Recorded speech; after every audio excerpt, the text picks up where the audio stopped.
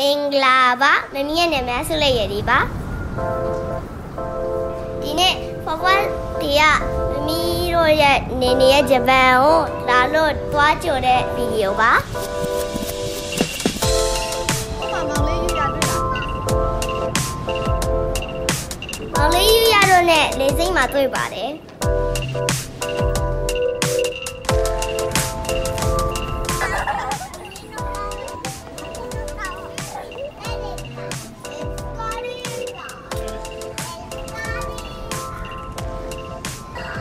ဖဖအောင်ဆောင်ရင်လေအရင်ကိုသွားကြည့်ပါလေ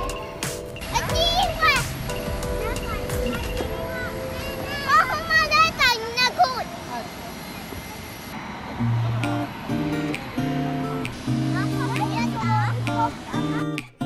ည7နာရီခွဲတော့ဖဖရောက်လာပါတယ်မမီရဲ့ဗီဒီယိုကြည့်ပေးလို့ကျေးဇူးတင်ပါတယ်